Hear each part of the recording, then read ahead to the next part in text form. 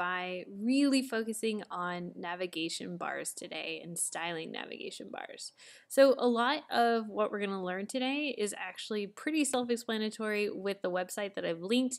You'll notice that you can scroll down and learn all about this just by looking at the examples. Um, but I do want to focus on how we need to restructure our previous assignment so that you can get this multi page website for your final product. So, as you can see, you need to open your W4D1 folder like so. So here's mine. You'll see that I already opened it, and this is what my project currently looks like.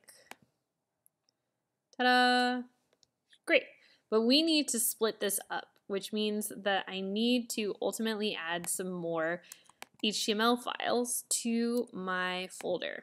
So come up with new HTML files for each of your containers, all right?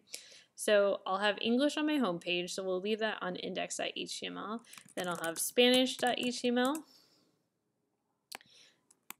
uh, Russian.html,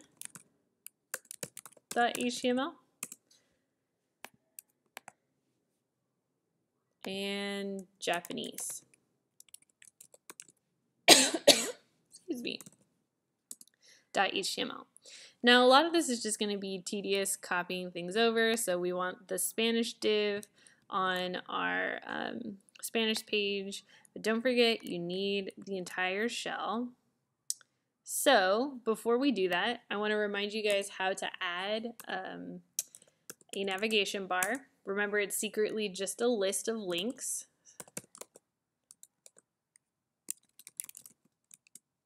And you just need to link it to each one. So my first one is home. That's English. My second one is Russian. Oops, forgot that.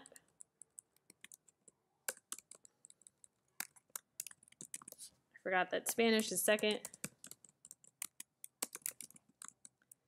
So this is Spanish.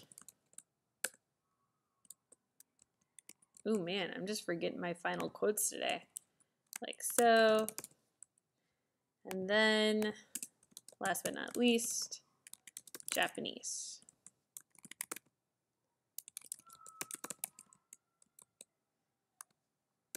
Okay. Cool. So now we have a navigation bar, but it still needs to be styled. So let's copy and paste each one of these over so that we can get this all set up. So let's put Spanish on next.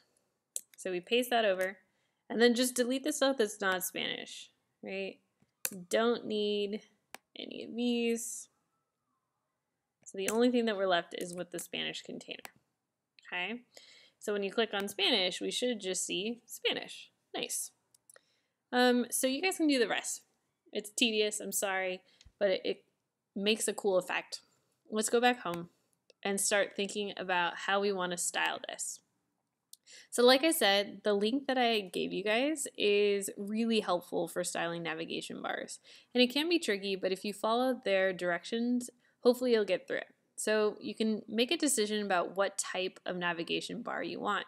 Do you want a vertical one, so your links are stacked on one another, or do you want a horizontal one? In my example, uh, I have a horizontal, but choose whatever navigation bar you want. I'll stick with horizontal for now. So, like I said, your navigation bar is a list of links. We did that. Now, there's some things that we need to remove from our unordered list to make it look more like a navigation bar.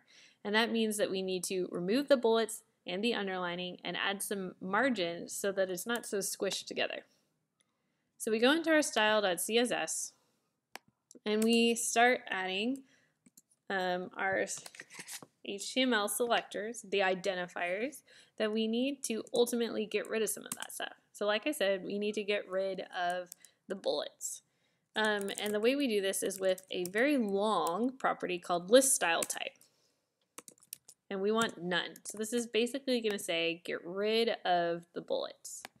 Another thing that we need to get rid of is the underlining, and that comes from the anchor tag. So we'll use A as our selector. Let me zoom in a bit more so you can see this hopefully a, little better. Um, and you use another property called text decoration, um, none. So you can find most of these in this article. Okay, there are a lot of them, so it's going to take a while to go through each one.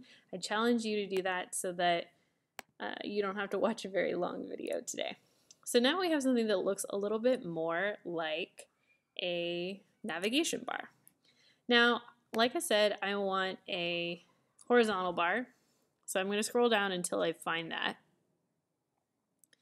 These are all vertical. All right, horizontal bars. And so what we need to do is make sure that we're using inline and floating list items. So the list items need to be inline. And the way that we do that is with display inline.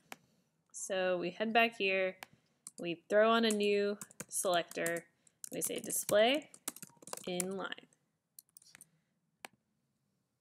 So now you can see they're right next to each other. That's great. Um, what else do they say we need? Ah, we need to also make them float left. All right, so we'll go back and we'll add that. Nice. Now, when you're using float, things can get a little tricky. If your page looked good without it, feel free to get rid of it, right? If this becomes an issue, you can also position this so that it's still above. So position absolute, top zero, then we don't have to worry, hopefully, too much. Oh, you can see it's getting up there. It means that we probably also need to move this down. But like I said, sometimes it's a headache to worry about the pos relative position of things. So I'm going to go back to what we had. This looked better to me. Um, okay. So some other things that might be appealing to you is having a background color, right? So we can use a background color for our UL. And a lot of this stuff is stuff you guys know. So I'll steal the RGB from my text and give this a background color, like so.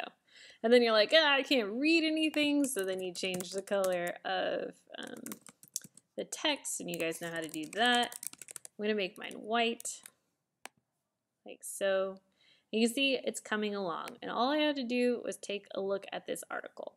One thing that I find students really like that I want to point out is essentially um, changing the color when you hover over it. So let's see if I can find that. It's on here. I know it is. Ah, here's a great example, right? I'm hovering over and it kind of changes a different gray. The way you do that uh, they're not showing the code. I think I have to scroll back up. The way you do that is with something called here. Here's a great example. So this weird identifier or selector is a way to tell your computer that you only apply this styling when you're hovering over these HTML elements. So I encourage you to play around with that as well because it can provide for a really cool effect. All right, I'll let you guys check out this article a bit more. Let me know if you have any questions about today's assignment.